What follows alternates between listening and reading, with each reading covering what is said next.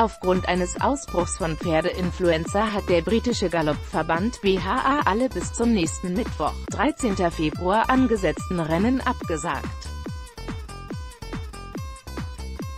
Ob dieser Termin eingehalten wird, soll am Montag entschieden werden.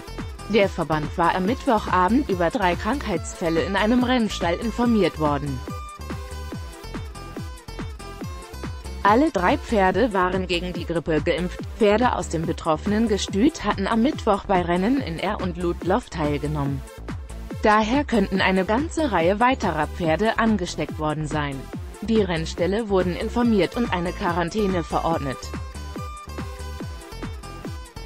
Wie der Verband mitteilte, kann es bis zu drei Tagen dauern, ehe die Tiere erste Symptome zeigen.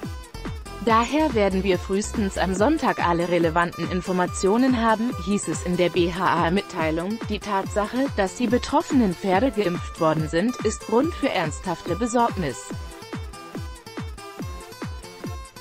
Um das Risiko einer Ausbreitung der Krankheit zu minimieren, war es notwendig, die Rennen abzusagen, teilte die BHA mit. Ob noch weitere Pferde betroffen sind, ist noch nicht bekannt. Die Gesundheit der Pferde und die Kontrolle des Virus habe Priorität, so der Verband. Wir wollen kein unnötiges Risiko eingehen und zu früh wieder mit den Rennen starten.